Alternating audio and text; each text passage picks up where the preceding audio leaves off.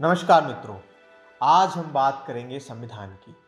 भारत का संविधान एक ऐसा संविधान है जिसमें भारत की आत्मा परिलक्षित होती है, यानी उसका जो सार है, जो उसकी सोल है, वो इंडियन सोल है, भारतीय सोल है, भारतीय आत्मा है। कैसे? तो संविधान की जितनी भी बातें हैं, बेसब की सब भारत की संस्कृति से ली गई हैं। भारत के जो सांस्कृतिक मूल्य हैं, हमारी जो परंपराएँ हैं हमारा जो दर्शन है, हमारा जो विचार है, वो सब इस संविधान में हमको दिखाई देता है।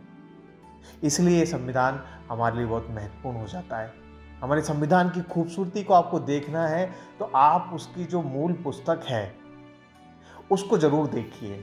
उसमें राम, कृष्ण, बुद्ध से जुड़े हुए चित्र हैं, जानकारी है, सुंदर चित्र हैं, और ये चित्र प्रेरणा देने का काम करते हैं। और ये चित्र ऐसे ही नहीं लिए गए इन चित्रों के पीछे एक विचार है, एक दर्शन है। संविधान का प्रत्येक अध्याय जहाँ से प्रारंभ होता है, वहाँ उस अध्याय की विषय वस्तु को रेखांकित करने वाला और उस विषय वस्तु के बारे में मार्गदर्शन देने वाला चित्र लगाया गया है।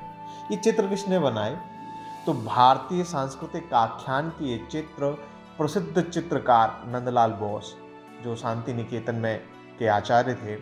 प्रधानमंत्री पंडित जवाहरलाल नेहरू ने उनसे आग्रह किया कि संविधान की इस प्रति को थोड़ा सा आप सुसज्जित कर दीजिए। तो नंदलाल बोस अपने शिष्यों के साथ गए और उन्होंने संविधान के लिए कुल 22 जो है चित्र बनाए। 22 चित्र बनाए और इतनी उसके बॉर्डर भी बनाए, पेज। बॉर्डर भी बड़े आकर्षक ढंग से उन्होंने चित्रकारी से सजाए हैं। तो ये जो 22 अध्याय के 22 चित्र हैं, ये बड़े महत्व के हैं। तो ज़रा देखें, क्या हैं, कौन से हैं ये चित्र? भारत की प्राचीन सभ्यता को दर्शाने के लिए इंडस वैली सिविलाइजेशन का चित्र वहाँ हमको दिखाई देता है। पार्ट वन में। पार्ट टू में हमको वैदिक आश्रम दिखाई देता है। वैदिक आश्रम का चित्र है और आश्रम इस भारतीय संस्कृति का केंद्र है। हमने अपने पूरे जीवन को चार आश्रमों में विभक्त किया है, विभाजित किया है, बांटा है। हम सब जानते हैं, चार आश्रम का हमारे हिंदू धर्म में, हिंदू संस्कृति में, भारतीय संस्कृति में क्या महत्व है? तो और आश्रम गुरुकुल के शिक्षा के केंद्र भी थे, ज्ञान के केंद्र।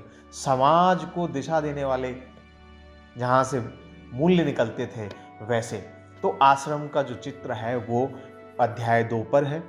उसके बाद अध्याय तीन शुरू होता है भगवान राम के चित्र के साथ, जिसमें वो लंका से माता सीता को लेकर के लक्ष्मण के साथ पुष्पक विमान से लौट रहे हैं। तो राम का जीवन, राम के मूल्य, ये संस्कृति के आधार मूल्य हैं। भारत के लिए राम का क्या महत्व ये हम सब जानते हैं।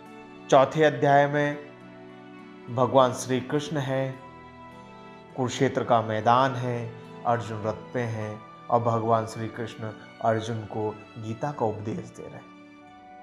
ऐसा सुंदर चित्र, उसका दर्शन, वो हमको अध्याय चार में दिखाई देता है। फिर हमको आगे चलते हैं तो महावीर जी का जीवन का संदेश देता हुआ एक चित्र मिलता है। भगवान बुद्ध पाँचवें अध्याय में भगवान बुद्ध का चित्र है, वो दिखाई देता है। और ये चित्र जो है, भगवान बुद्ध का जहाँ वो अपने शिष्यों को उपदेश दे रहे हैं।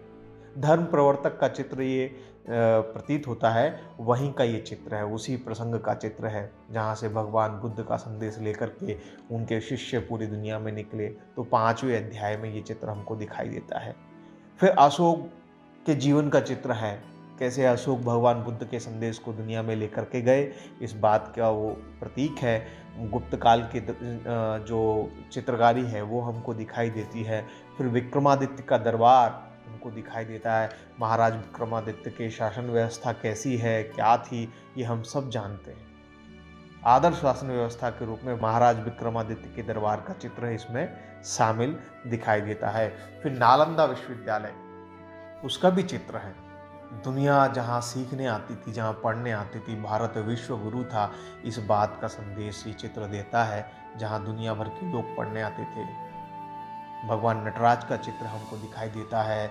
माँ गंगा के धरती पर अवतरण का दृश्य, अवतरण का प्रसंग, वह सब चित्र भी हमको अध्याय तेरह में हमको दिखाई देते हैं। तो ऐसे हम आगे जाते हैं तो हमें और भी चित्र दिखाई देते हैं। भारत के महापुरुषों के चित्र दिखाई देते हैं।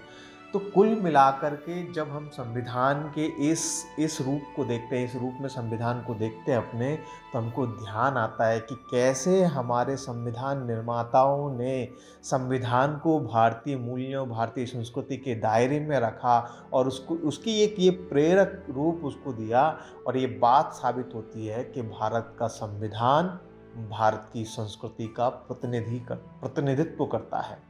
उसी की संस्कृति को आगे लेकर चलता है। यानी हमारे सांस्कृतिक मूल्यों का प्रकाश हमको हमारे संविधान में दिखाई देता है। इसलिए भारत के प्रत्येक नागरिक को अपने संविधान का पूर्णतः पालन करना चाहिए, उसका सम्मान करना चाहिए।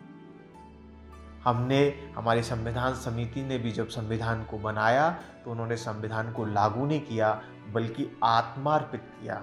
ये सुंदर बात भी भारतीय संस्कृति का द्योतक है कि हम अपने कानून को, अपने जीवन पद्धति को आत्मार्पित कर रहे हैं, अपने ऊपर लागू नहीं कर रहे तो आज संविधान के बारे में ये कुछ नई जानकारी आपको लगी होगी। वैसे कुछ समय से इसकी चर्चा बहुत होने लगी है।